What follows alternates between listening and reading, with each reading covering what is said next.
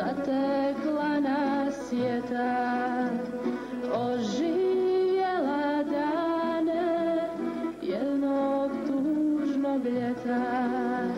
Sjeti smo se tebe prijatelju što si život dao da bi